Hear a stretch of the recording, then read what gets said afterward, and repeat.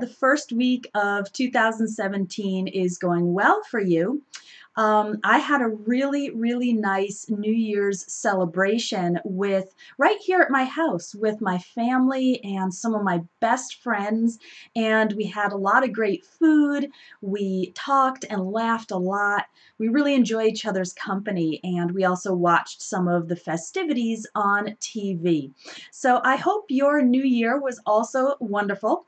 And today I want to talk about the future because at the beginning of a new year, a lot of people start making statements about the future, what is going to happen um, in the upcoming year. And I wanted to clear up some confusion about the different ways to talk about the future in English, okay? Um, so English has a number of different ways to talk about the future. We can use will and won't. We can say going to. We can even use the present continuous. So today I'm going to explain all of that to you with some really concrete examples. And I would also like to ask you to practice. So as I'm going through these examples and teaching you how to talk about the future in English, try to practice by writing your own examples. Just write a comment um, under this video, okay?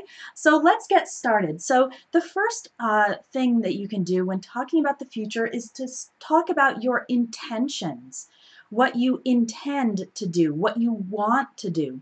And when talking about intentions, we use going to. So for example, you might say, this year I'm going to read more books, or this year I'm going to lose weight, or maybe this year I'm going to quit smoking, okay? Remember that in fast spoken English, going to often sounds like gonna. So if I were to say those sentences fast, I would say them like this. This year I'm gonna read more. This year I'm gonna lose weight this year I'm going to quit smoking. So you'll notice that these are all intentions. There are things that I have in my mind that I want to do, um, but they're really things that are in the future that are not really confirmed plans. So for confirmed plans, or some people call these arrangements, which are definitely going to happen, then we have two options. We can use the present continuous, so that's with ing, or we can use going to. Let me give you some examples of confirmed plans. So let's say uh, I'm planning on taking a cruise in the month of July. And I've already bought the tickets and I've already put it on my calendar, so it's definitely going to happen. So I can use the present continuous to talk about the future when I have confirmed plans. I can say, I'm taking a cruise in July. Okay? I'm taking, that's present continuous, but I'm talking about the future. I'm taking a cruise in July. So that part in July makes it clear that this is a confirmed plan in the future. When talking about confirmed plans using the present continuous, we usually add that future date, say in July, because if I just say I'm taking a cruise, then maybe it sounds like I'm taking a cruise right now, right? Because that's how we usually use the present continuous. But in this case, talking about confirmed plans in the future, we say, I'm taking a cruise in July. Or for a confirmed plan that's maybe closer to the present, we can say, I'm seeing a show in New York next week.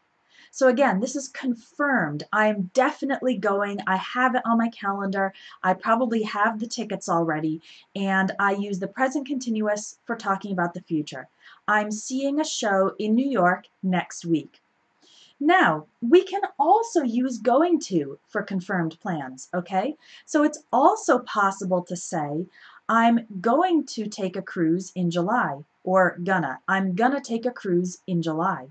Or I'm going to see a show in New York next week, or I'm gonna see a show in New York next week. Okay, so both of these, the present continuous with ing and going to, both of them are perfectly correct for talking about confirmed plans.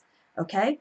Are you practicing yet? I'd like you to write in the comments one intention you have for this year, like uh, I'm going to study English more in 2017, and then one confirmed plan you have, like uh, I'm seeing a show next week. Try to use the present continuous for talking about the future. All right, so remember, always put what you're learning into practice as soon as possible. So let's try to do that in this video. The next way to talk about the future is by making predictions, okay? So predictions are just imaginings about the future. You are thinking about how you imagine the future will be. So these have to do more with you, more with your intentions and your plans. Predictions are a little more general. And at the beginning of the year, you'll see a lot of predictions in newspapers. For example, um, this year the economy will grow or the economy won't grow. So for predictions, we often use will and won't. Will being the positive form and won't uh, is short for will not. That's the negative form. The economy will grow this year. The economy won't grow this year. Uh, the new president will do this. The new president won't do that. Okay? And we can also use going to for predictions. So it's perfectly correct to say the economy is going to grow this year or the economy is not going to grow this year. The new president is going to pass a new law or the new president is not going to pass a new law. Okay? Some people say that going to has more certainty than will and won't. Mm, I don't know, maybe. I don't think that's really the case. I think you can use both of these equally for uh, predictions, and you can quantify the amount of certainty by using words like definitely. The economy will definitely grow this year, or the economy definitely won't grow this year, okay? Or the economy is definitely going to grow. The economy is definitely not going to grow. Okay, so I would use a word like definitely to emphasize it if you are very certain that your prediction will come true. Or you can use a word like probably to show that it's likely, but it's not completely certain. All right. Um, and if you're a little more uncertain, then you can use the word maybe, right? Maybe the economy will grow this year uh, or maybe the economy is going to grow this year. All right, so there are different degrees of certainty in predictions, but I would use the words maybe, probably, and definitely to indicate those different degrees of certainty. But you can use both will and won't and going to or not going to to make predictions. So let's see you put it into practice. Make uh, one or two predictions for what you think is going to happen in 2017 and write them in the comments. So you might be wondering, when are some other situations where we use will and won't? Well, we often use will and won't for promises and decisions that are made in the moment of speaking. So an example of a promise would be, let's say I have children and my children really want to go to Disney World. I might say, I'll take you to Disney World this year. Okay, that's a promise. I'll take you to Disney World this year or um, I don't know, maybe your boyfriend or girlfriend is complaining that you're working too much, so maybe you make a promise with won't. I won't work so much this year. Okay, again, that's a promise.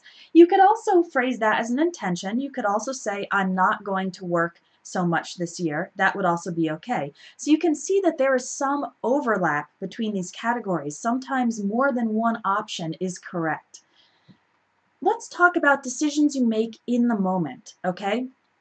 So a decision, an example of a decision in the moment would be, let's say your friend says, hey, I have tickets to this really great concert um, and it's going to be so much fun. And you get interested in going to the concert too. So in that conversation, you say, oh, I'll buy some tickets too. All right, you weren't planning on it before, or you weren't thinking about going to the concert before, but when your friend mentioned it, then you decided in that moment that you want to buy tickets too. So in that case, we usually use will and won't. I'll buy some tickets too, okay, for communicating decisions that you make in the moment. So I hope this lesson has helped you understand better how to talk about the future in English, the different ways we have of talking about the future in English. Remember to practice by writing some comments. And at the beginning of the year, it's also a great time to make a plan for your English study. I really think that the best students have a plan for their English study and then they stick to the plan. That means they follow it. They don't just forget about it or abandon it. And if you're looking for some English learning material that can take you through the whole year, then I recommend you look at my complete program at Espresso English because it has more than 400 lessons in it.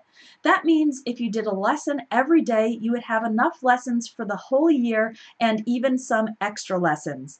The courses and ebooks inside the complete program cover a lot of different areas. So there's business English, there's speaking, listening, pronunciation, grammar, vocabulary, confusing words. You'll really cover all the different areas of the language, and that's also really important for you to become a well-rounded English speaker. That means someone who can um, who is good at all the different areas of English, right? Because you don't just want to be good at listening but bad at speaking, or good at grammar but you don't have much vocabulary. You really want to get all of the areas of the language. That's what makes a fluent English speaker. So my Complete English uh, program can help you do that. If you'd like more information, just click on the link uh, under this video or visit espressoenglish.net uh, click on courses and then look for the complete program. And there's actually a 35% discount that's available on this program, so you'll save money too. I hope you've enjoyed today's video. Thank you so much for watching, and I hope to teach you a lot more English in 2017. Bye for now.